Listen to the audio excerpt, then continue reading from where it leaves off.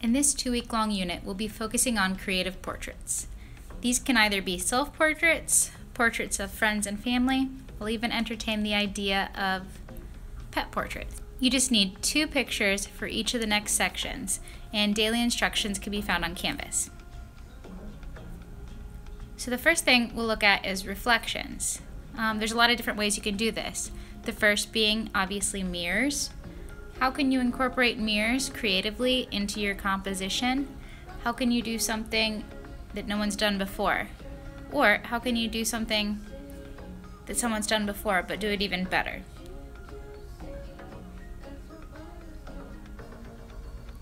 If you don't want to focus on mirrors, you could also mess around with the idea of water and reflections in water. Are there any places near your house where you could do this? Would you like to mess around with possibly photoshopping something? It doesn't have to be like a full face portrait either. I like this one that's just the arm. What about um, balls or crystal balls, ornaments? How can you find other reflective surfaces? Maybe spoons? So the next section we're going to focus on is going to be shadow. There's a couple of different ways you can do this. Do shadows um, fall creatively on the person's face in the portrait? What kind of textures or things could you hold up to the light to create shadow in this way? How can you be creative?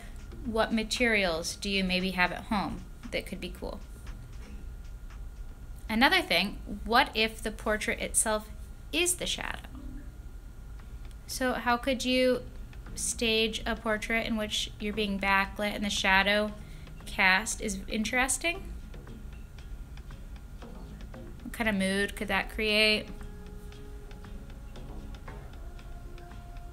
So think about this one. And then the next thing is uh, double exposure.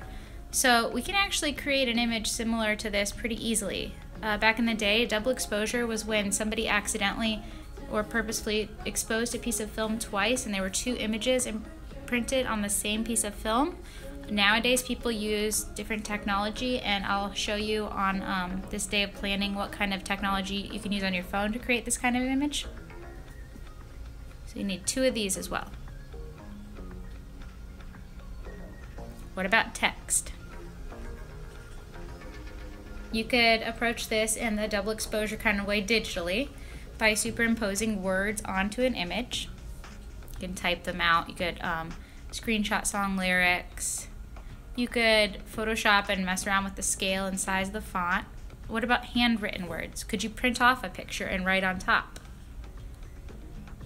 Here are some that I did of some friends and family where I had them write notes about themselves or their friends and then um, superimpose those images on top of some film photography I had taken. What about writing on the actual person in the portrait? Like here in this graduation pic. Or um, on your face with eyeliner or washable marker. So you have a lot of options with text, and I'm sure you could think of even more. Distortion. This is your final one. Um, the easiest thing to do here would be glass distortion, and there's a lot of ideas and pictures online that you can look at think it's cool when you add water or other elements or multiple glasses. Um, eyeglasses, magnifying glass, again a glass of water. If you don't want to go with the glass distortion, you can also um, kind of do something similar to what we did with the David Hockney lesson and digitally distort or even cut and print different images and put them together to create a sense of distortion. So, however you want to approach it, we have two weeks for this unit. Again, daily instructions are going to be on Canvas. I really hope you enjoy, and um, just let me know if you have any questions, and have fun experimenting.